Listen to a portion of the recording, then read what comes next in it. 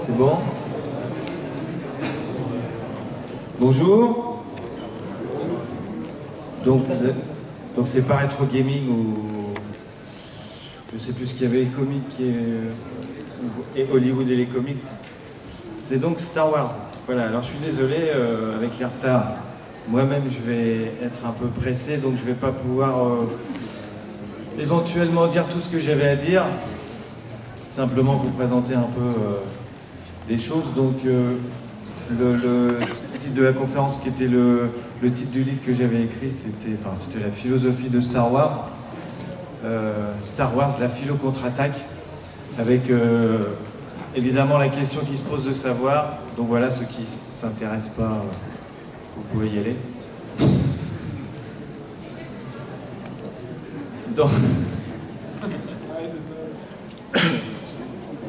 Alors au départ, je suis, moi je suis professeur de philosophie. Euh, je m'appelle Gilles Verviche et euh, j'ai donc écrit ce, livre sur la philosophie de, Star Wars. Euh, le lien n'est pas évident, euh, puisque George Lucas lui-même, euh, quand il avait fait Star Wars, au départ, avait l'intention de, faire un film pour les kids, pour les adolescents, avec euh, des souvenirs de ses films d'enfance qu'il regardait, en particulier les westerns. Et il regrettait qu'à son époque, il n'y ait pas de film pour les, enfants et pour les adolescents, mais que des films très réalistes, du genre Kramer contre Kramer, qui ne permettaient pas vraiment de développer l'imaginaire et la fantaisie des enfants.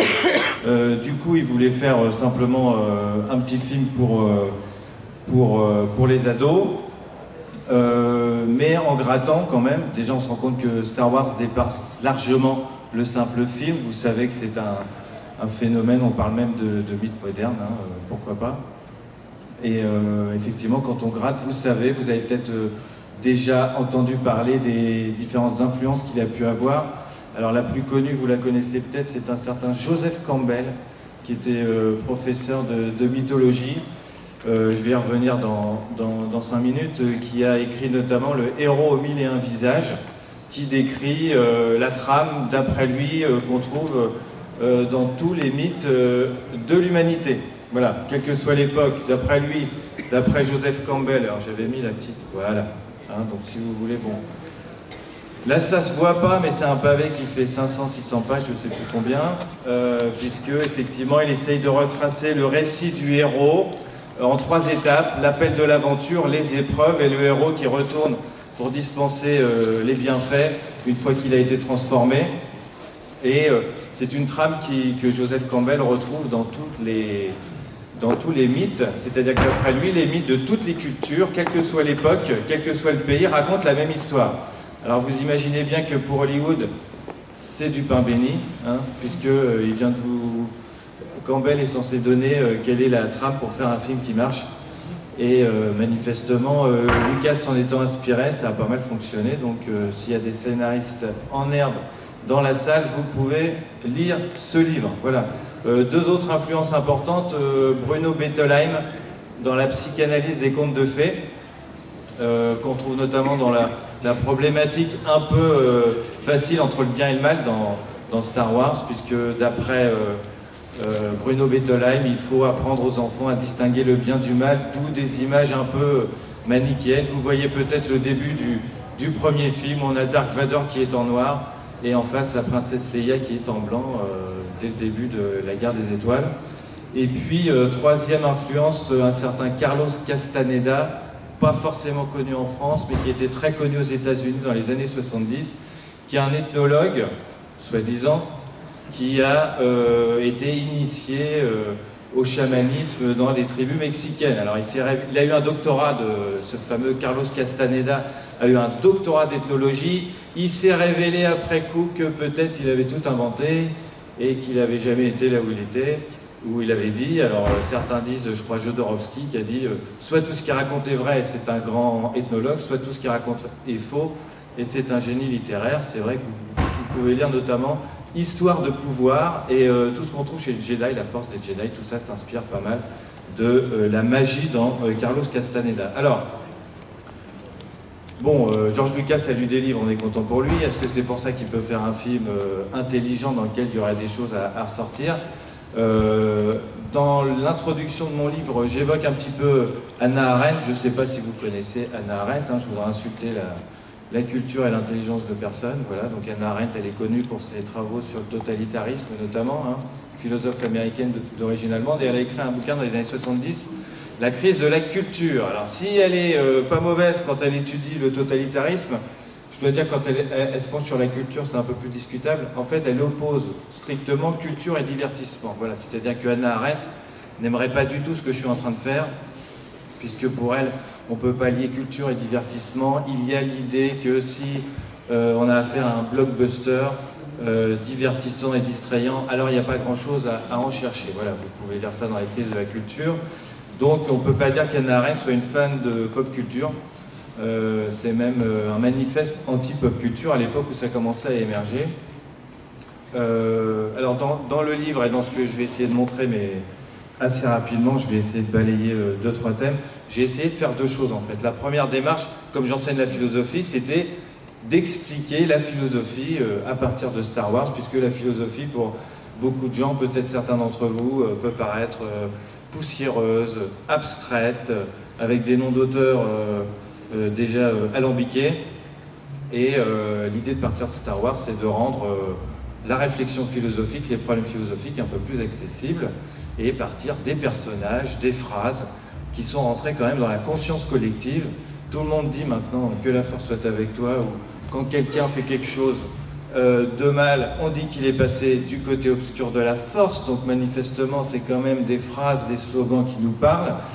Et puis, euh, donc, il y a plein de thèmes hein, dans le livre qui est sorti en septembre. J'avais parlé, j'ai traité une dizaine de, notions philosophiques comme ça. Euh, Bon, alors évidemment, le bien et le mal, vous imaginez bien. Euh, la religion, la politique, la technique, la guerre aussi. Hein, la guerre aussi. Alors, dans l'autre sens, évidemment, j'ai essayé aussi de dégager un petit peu la philosophie de Star Wars. Tout le monde devine qu'il y a un peu de philosophie dans Star Wars, notamment quand on entend Yoda et ses fameuses phrases. Peut-être que ça vous a un peu marqué. Moi, quand j'avais découvert ça quand j'étais adolescent, ou petit enfant même. Hein. Luc arrive sur Dagoba, il dit euh, Je cherche un grand guerrier, et euh, Yoda lui dit Haha, personne par la guerre ne devient grand. Là, normalement, on est hein, c'est une super phrase. Euh, bon, alors, sauf qu'en réfléchissant, dans Star Wars, il y a Star, mais il y a aussi Wars. Et l'affirmation même de Yoda est assez discutable dans le film, puisque c'est quand même par la guerre que Luke devient grand. Et c'est par la guerre que pas mal de, gens deviennent grands. Je vais y revenir rapidement aussi, euh, en vous rappelant dans, dans 5 minutes que les Jedi sont quand même des samouraïs, qui sont quand même les premiers à devenir grands par la guerre. Voilà.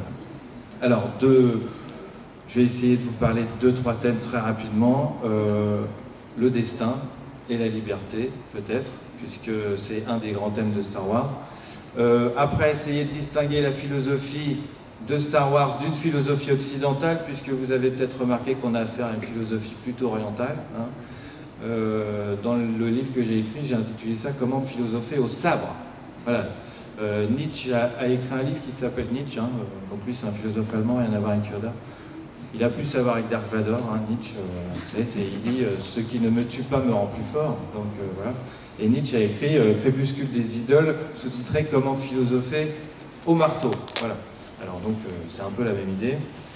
Euh, donc comment philosopher au sabre J'essaierai de finir aussi sur euh, la vision politique de Star Wars, qui sauve en fait la prélogie. Tout le monde a critiqué la prélogie, enfin vous je ne sais pas ce que vous en pensez, en particulier à cause de Jar Jar Binks. Alors bon c'est un peu dur quand même de rejeter 6 heures de film pour un personnage qui d'ailleurs a l'élégance de disparaître au fur et à mesure. Hein, vous avez remarqué on ne savait pas trop quoi en faire, donc euh, manifestement Lucas a compris qu'il ne fallait pas en faire grand-chose. Euh, non, parce que ce qu'il y a de bien quand même dans, la prélogie, enfin de mon point de vue, c'est qu'il instaure une problématique philosophique. Voilà. Problématique philosophique, c'est un peu répétitif en fait, parce que ce qui est philosophique est problématique. Vous avez remarqué peut-être que dans la trilogie originale, euh, bah, je vais peut-être commencer par là, écoutez, hein, on verra la suite après, voilà, ça c'est les images que je voulais montrer, donc voilà. vous savez peut-être que dans la trilogie originale, il euh, n'y a pas de problème politique, Un problème philosophique, c'est quand on pose une question et qu'il y a deux réponses opposées et que les deux ont l'air bonnes et qu'on ne sait pas laquelle choisir. Voilà, hein, comme le disent des fois les élèves en philosophie, euh, une question philosophique, c'est une question à laquelle on n'a pas de réponse. Voilà. Alors que dans la trilogie originale, il y a une réponse, l'Empire, ce sont les méchants, et puis les rebelles, ce sont les gentils. Voilà. Euh, dans la trilogie originale, vous vous souvenez peut-être que euh, Obi-Wan ou le vieux Ben Kenobi dit pendant des milliers de générations, les Jedi ont assuré la paix et la justice dans la galaxie, mais ça c'était avant, avant euh, l'Empire, et tout le monde se demandait comment est-ce qu'on était passé de la République à l'Empire, si elle était aussi idéale, comment est-ce qu'on a fait? Alors, on voit effectivement une problématique se dessiner dans la prélogie, alors évidemment Palpatine, c'est le mal incarné, il est machiavélique, j'en parle aussi un petit peu dans ce livre, manière de, rappeler aussi à, tout le monde euh, que veut dire machiavélique, qui est Machiavel, est-ce qu'il est si machiavélique que ça? On le sauve un peu, beaucoup même. Hein. Euh, mais euh, malgré toutes ces manipulations, vous avez cette petite image qui doit parler à peu près à pas mal de gens. Hein. Palpatine déclare la République va être réorganisée dans un empire galactique, et là, tout le monde applaudit et il y a la fameuse phrase de Padmé Amidala qui dit « C'est ainsi que meurt la liberté sous des tonnerres d'applaudissements Donc on découvre que finalement euh, il n'y avait pas grand-chose pour le pousser au pouvoir. Alors évidemment ça rappelle les changements de régime euh, dans l'Antiquité romaine et ça pose surtout euh, la question de savoir ce qu'on attend de l'État et si le peuple lui-même ne préfère pas un peu d'ordre et de sécurité plutôt que de la liberté. Voilà.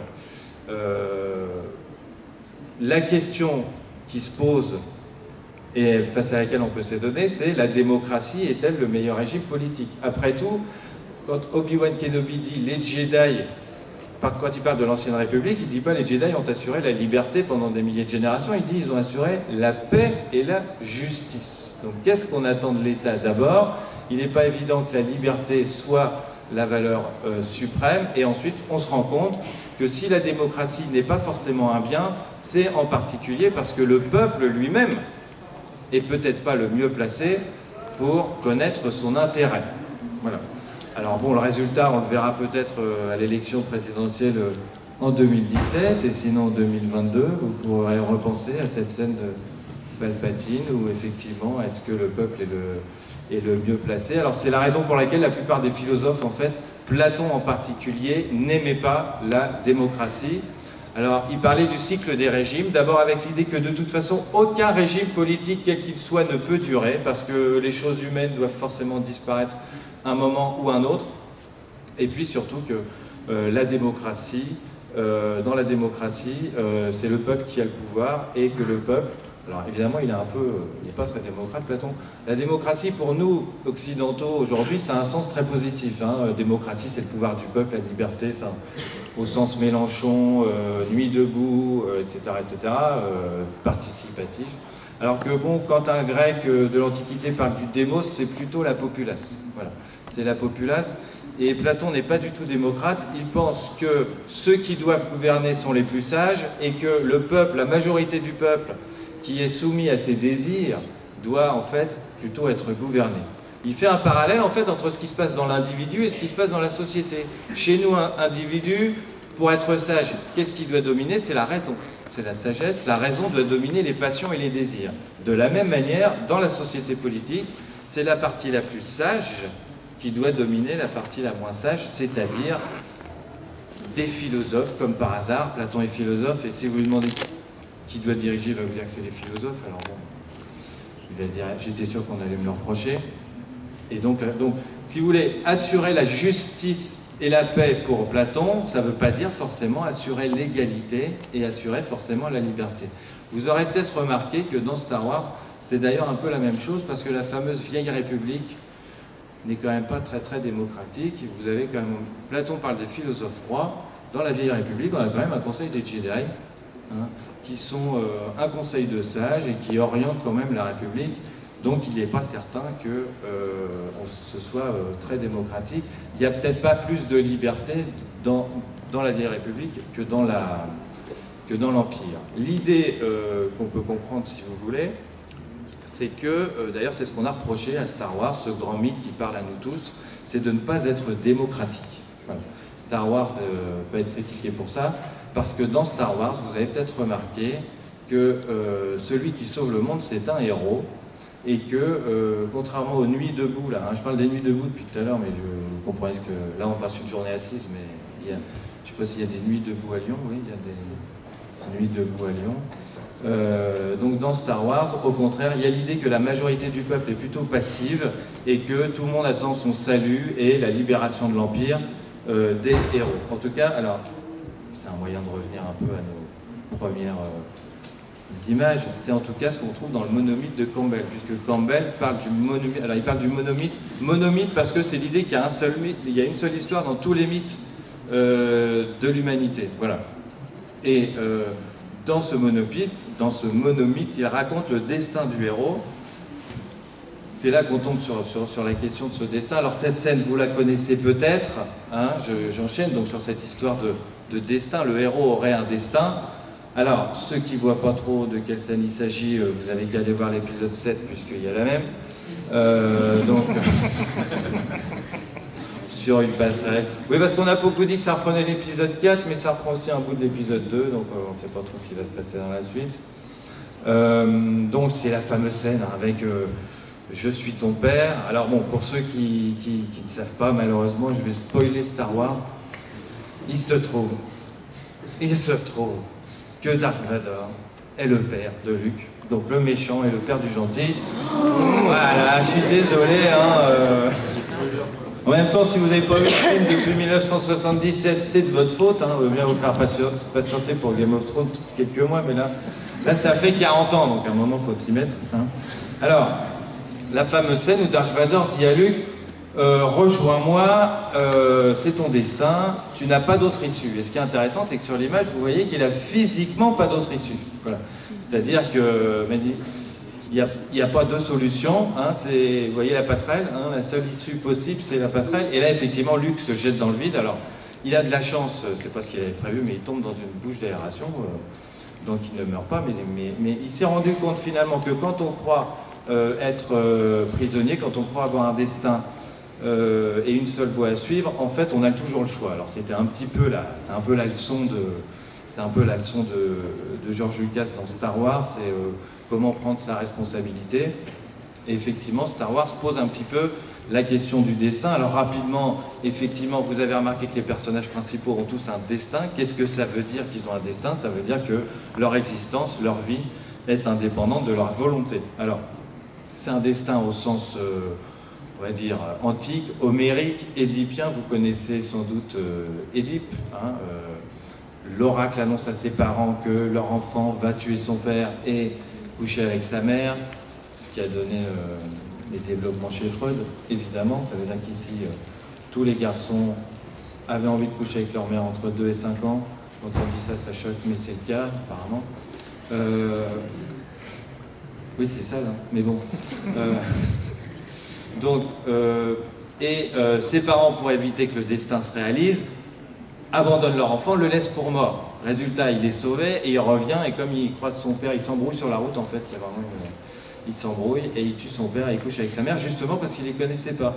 L'ironie de l'histoire, c'est que tout ce qu'a fait euh, le héros ou tout ce que font les personnages pour échapper à leur destin, c'est justement ce qui permet au destin de, de se réaliser. Alors, face à ça, la question se pose de savoir si nous aussi nous avons un destin. Vous avez peut-être remarqué que non seulement il y a un destin dans la trilogie originale, mais dans la prélogie, on commence carrément à parler de prophétie et de, et de prémonition.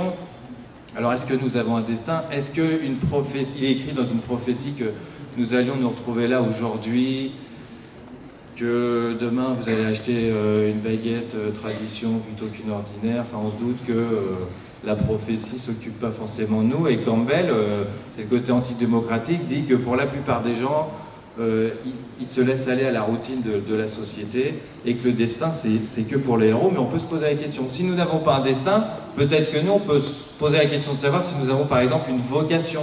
Hein, vous connaissez le terme de vocation. Vocation, ça veut dire être appelé, sous-entendu être appelé par Dieu. Alors je ne sais pas où vous en êtes dans votre vie, mais, et je ne sais pas le sentiment que vous avez de comment vous y êtes arrivé, mais il y a plein de manières d'avoir un destin, c'est-à-dire de comprendre que notre existence est indépendante de notre volonté. Euh, on peut parler du déterminisme biologique, par exemple. Alors chez les Jedi, c'est ce qu'on appelle les midi-chloriens. Hein, c'est dans leur midi-chloriens. Pour nous, c'est dans notre ADN. Il vous arrive, quand vous dites que vous avez une vocation, qu'est-ce que ça veut dire? Ça veut dire, je suis né non seulement avec un goût pour une certaine activité, ça peut être ce que vous voulez, de la musique, euh, faire des films ou, boulanger, justement, je parlais de pain. Et puis, non seulement j'ai le goût, mais en plus j'ai les capacités de le faire. Donc, la nature est quand même bien faite. Voilà. Il vous arrive aussi, quand, on, quand, quand vous vous énervez, de dire je n'y peux rien, c'est dans ma nature. Voilà. Et puis, euh, sinon, on peut encore parler de déterminisme sociologique. L'idée que si on est né, hein, on ne choisit pas ses parents, on ne choisit pas sa famille.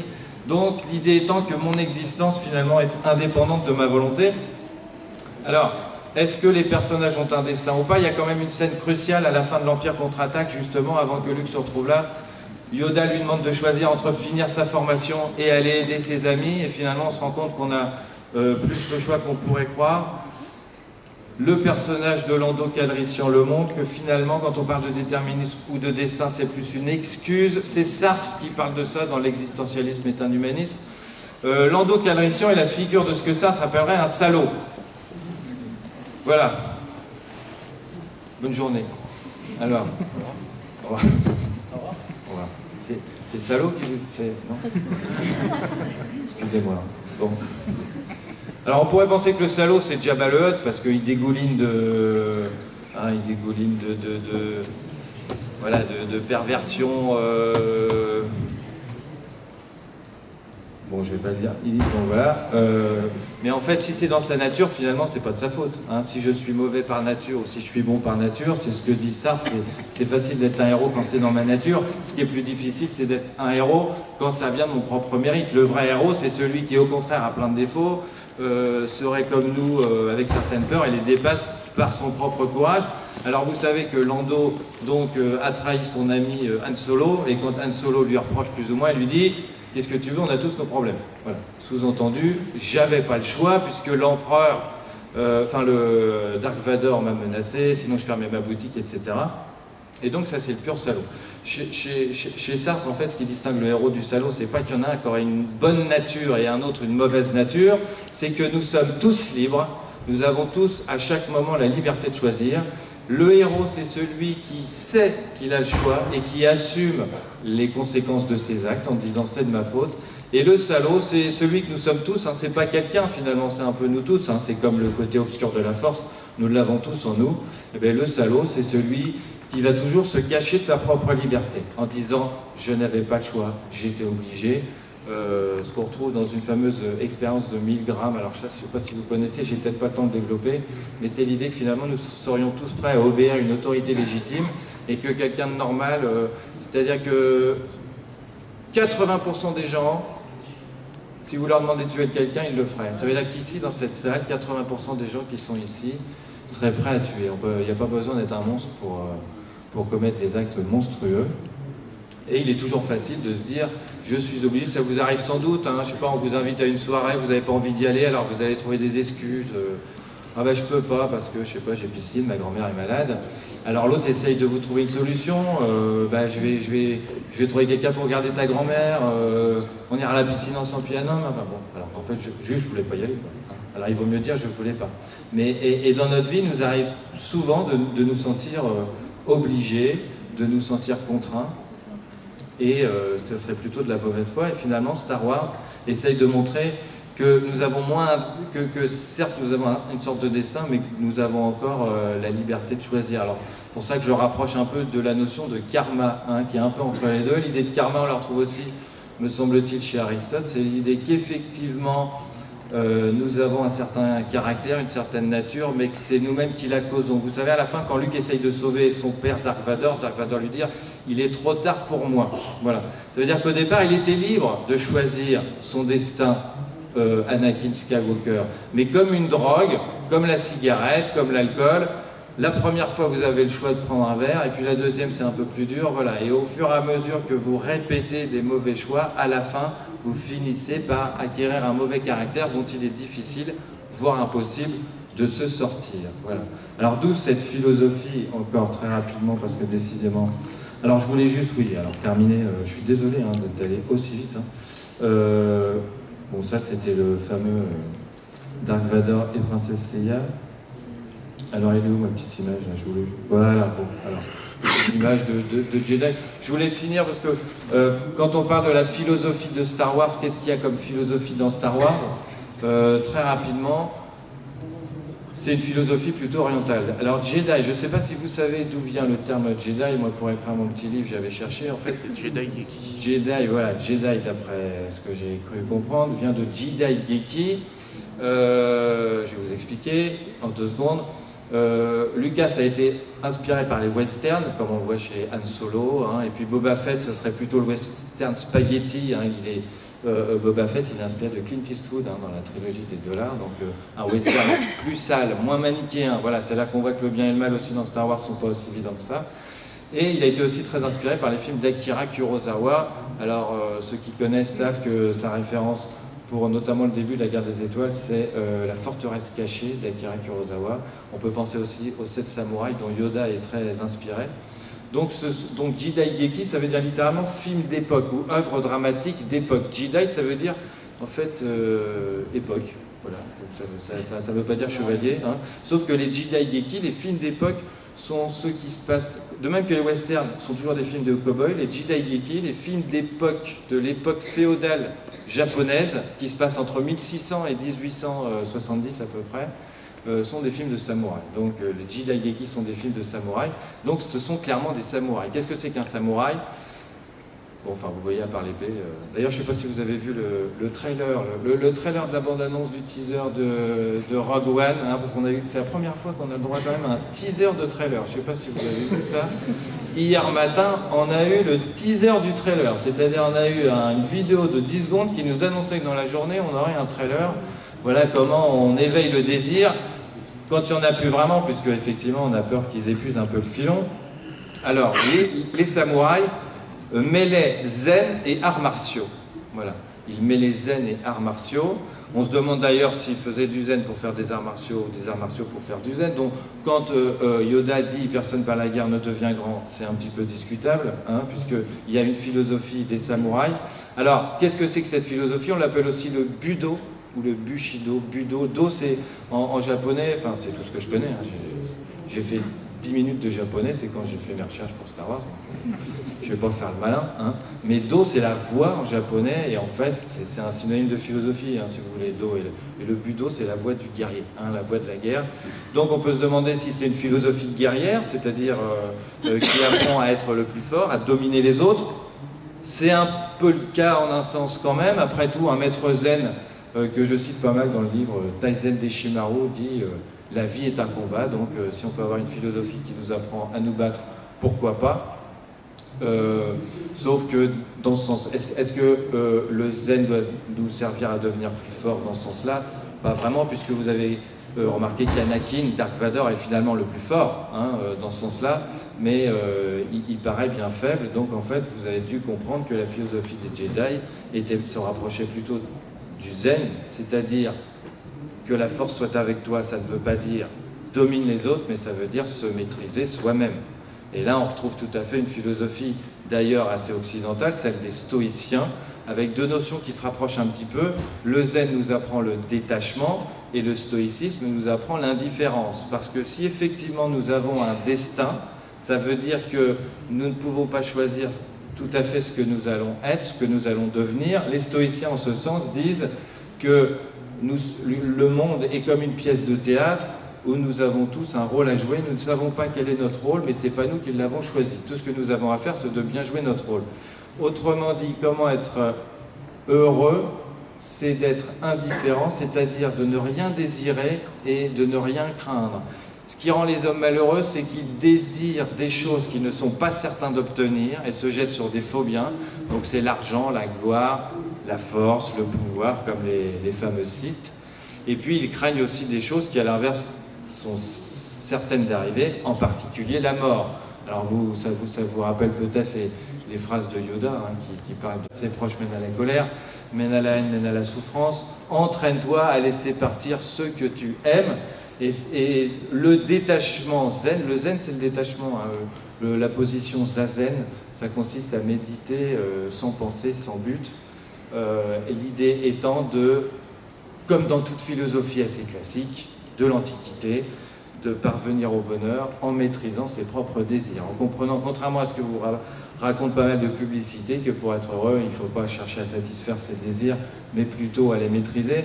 Alors la petite différence ou la grosse différence entre la philosophie occidentale, par exemple stoïcienne, et la philosophie orientale, euh, d'après ce que j'ai cru comprendre, c'est que dans la philosophie occidentale, le mot d'ordre, c'est je pense donc je suis, hein, euh, de Descartes. Ça veut dire quoi? Ça veut dire que pour être sage et heureux, il faut cogiter, il faut réfléchir.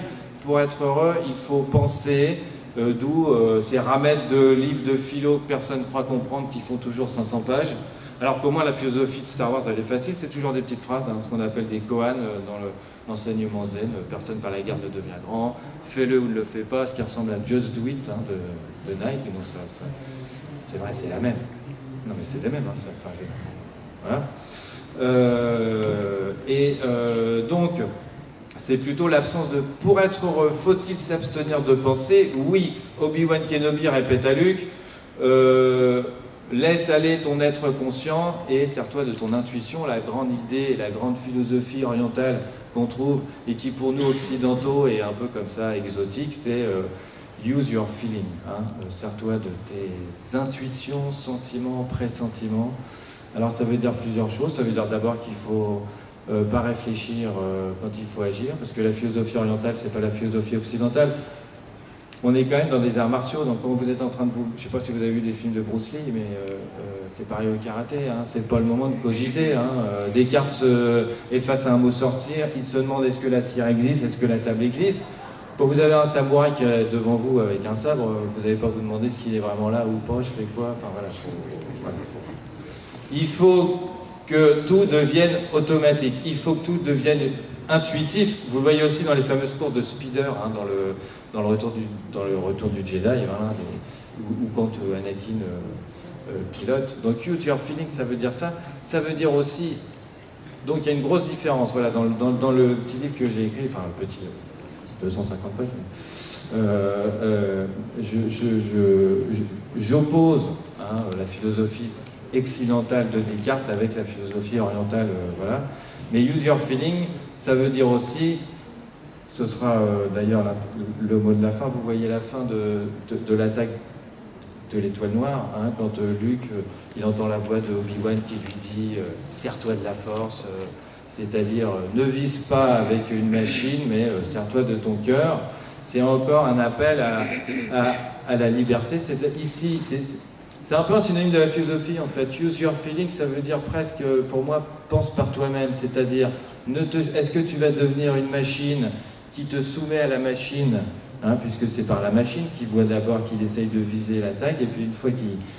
Et finalement, l'Empire, hein, l'Empire c'est une grosse machine, il y a aussi toute une philosophie sur la technique dans Star Wars.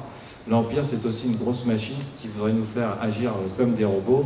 Et l'enseignement, un des enseignements de, dans Star Wars, c'est quand même d'essayer d'agir et de penser par soi-même euh, plutôt que de se soumettre euh, à tous les pouvoirs, quels qu'ils soient.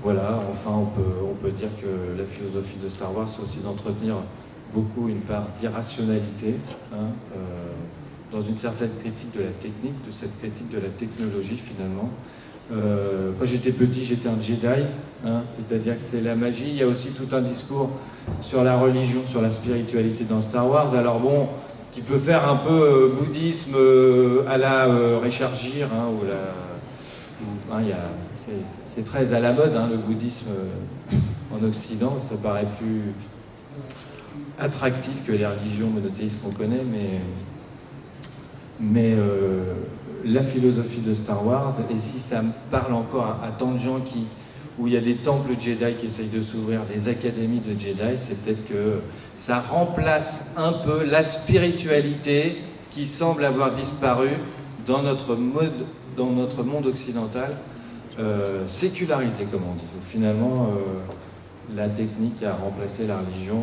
Ce qui est bien ou ce qui n'est pas bien, c'est ambivalent, et c'est toujours le point de vue philosophique de, de poser les deux. Voilà, merci.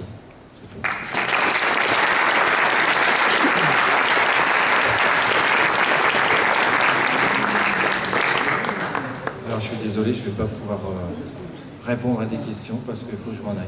Voilà. merci, hein. merci d'être venu.